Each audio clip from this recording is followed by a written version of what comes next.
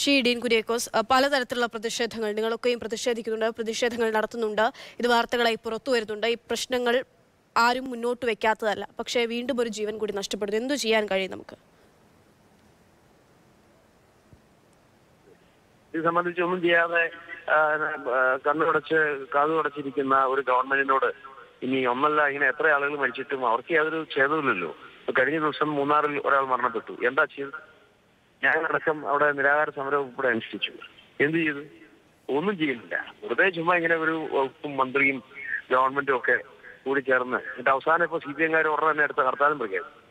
അതോടുകൂടി അവർക്ക് ഇതിനകത്ത് യാതൊരു പങ്കുമില്ല. ആ ഉദ്യോഗസ്ഥന്മാരാണ് ഇതിനെല്ലാം കുഴപ്പക്കാര് എന്ന് പറഞ്ഞുകൊണ്ട് സി പി എമ്മിന്റെ ഭാഗത്തു നിന്നും ഇടതുപക്ഷത്തിന്റെ ഭാഗത്തു നിന്നുള്ള പ്രചരണം തുടങ്ങും ഇങ്ങനെ ഒരു ഗവൺമെന്റ് ഈ കാലഘട്ടത്തിലല്ലാതെ എപ്പോഴാണ് കേരളത്തിൽ ഇതുപോലെ ഒരു ദുര്യോഗം ഉണ്ടായിട്ടുള്ളത്?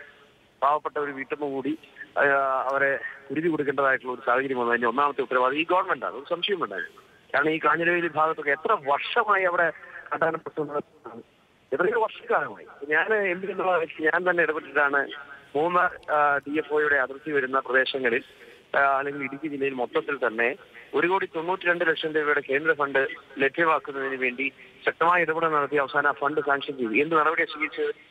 ഏതെങ്കിലും ഒരു പ്രതിരോധ പ്രവർത്തനങ്ങൾക്ക് അവർ നേതൃത്വം നിരന്തരമായ ആളുകളുടെ പരാതിയും പരിവട്ടവും ഒക്കെ കേട്ട് കേട്ട് കാത് തഴമ്പിച്ചവരാണ് ഞങ്ങൾ പക്ഷെ യാതൊരു തരത്തിലുമുള്ള ആശ്വാസപരമായ ഒരു നടപടി ഈ ഗവൺമെന്റ് ഭാഗത്തു നിന്നും ഉണ്ടാകുന്നില്ല. രാവിലെ വീട് മുറ്റത്ത് അല്ലെങ്കിൽ വീടിന്റെ പരിസര പ്രദേശത്ത് ഇറങ്ങിയപ്പോ കാട്ടാന ചവിട്ടി കൊന്നു എന്ന് പറയുമ്പോൾ ഇതൊക്കെ പറഞ്ഞ വാർത്ത പറഞ്ഞ് അപലപിച്ച് പോയാൽ അതുകൊണ്ട് അവസാനിക്കുന്ന ഒരു വിഷയമല്ല.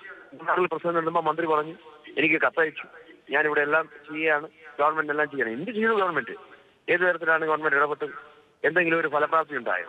ഏതെങ്കിലും തരത്തിലുള്ള നടപടി ഉണ്ടായോ? ഏതെങ്കിലും തരത്തിൽ ആ, ജനങ്ങൾക്കത് ഫീൽ ചെയ്തു? യാതൊരു നടപടിയും ഇല്ലാതെ ഞങ്ങളെ കുരുതി കൊടുത്തുകൊണ്ടിരിക്കുകയാണ്.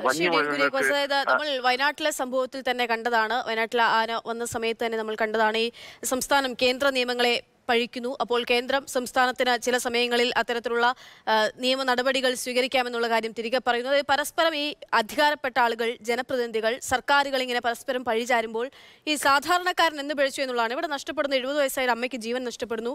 ബാക്കി നഷ്ടം മുഴുവൻ ആ കുടുംബത്തിന് മാത്രമാണ്. ഇനി അവിടെയുള്ള ആളുകൾ എപ്പോൾ എന്ന് കരുതിക്കൊണ്ട് ജീവിക്കേണ്ടി വരുന്നൊരവസ്ഥയും സാധാരണക്കാരൻ എന്തു ചെയ്യണമെന്നുള്ളതാണ്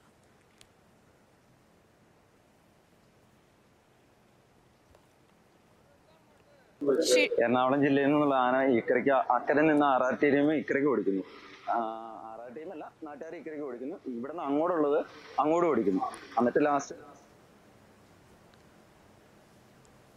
സംസ്ഥാന ഗവൺമെന്റാണ് അതിന്റെ ഉത്തരവാദിത്തത്തിൽ നിന്നും അതിന്റേതായ ആ റെസ്പോൺസിബിലിറ്റി ഏറ്റെടുത്തിട്ട് ബാക്കി ഭാഗം നമുക്ക് സംസാരിക്കുന്നതായിരിക്കും കൂടുതൽ. എന്ത് ചെയ്ത് സംസ്ഥാന ഗവൺമെന്റ് ഇക്കാര്യത്തിൽ ഇനിയിപ്പോ ഒരു പ്രശ്നകാരിയായിട്ടുള്ള ഒരു ആന അല്ലെങ്കിൽ കാട്ടാനക്കൂട്ടം അതിനെ ഓടിച്ചു വിടാൻ ചുരത്തി ഓടിക്കാനല്ലേ ശമ്പളം കൊടുത്ത് ഉദ്യോഗസ്ഥന്മാരെ ഗവൺമെന്റ് നിയോഗിച്ചിരിക്കുന്നത്?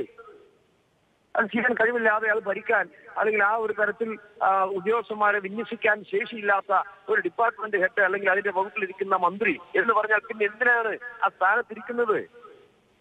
കാട്ടാന പ്രശ്നം നിരന്തരമായി ഉണ്ടാകുന്ന രണ്ട് മൂന്ന് ജില്ലകളാണ് കേരളത്തിലുള്ളത്. അതിൽ ഏറ്റവും കൂടുതലായിട്ടുള്ള ഒരു പ്രദേശമാണ് ഇടുക്കി. ഇടുക്കി ജില്ലയിൽ എവിടെയൊക്കെയാണ് കാട്ടാന പ്രശ്നങ്ങൾ ഉണ്ടായിട്ടുള്ളത് എന്ന് മനസ്സിലാകാത്ത ഒരു ഗവൺമെന്റാണോ കേരളം ഭരിക്കുന്നത്? അല്ലെങ്കിൽ ഏതെല്ലാം മേഖലയിലാണ് ജനങ്ങൾ കഷ്ടപ്പാട് അനുഭവിക്കുന്നത്? മനസ്സിലാക്കാൻ പറ്റാത്തവരാണോ ഇവിടുത്തെ ഉദ്യോഗസ്ഥ വൃന്ദങ്ങൾ അല്ലെങ്കിൽ അതിന്റെ നേതൃത്വത്തിലിരിക്കുന്നത് ഇവർക്കിതെല്ലാം വെറും ഒരു തമാശയായിട്ടാണ് കാണാൻ കഴിയുക.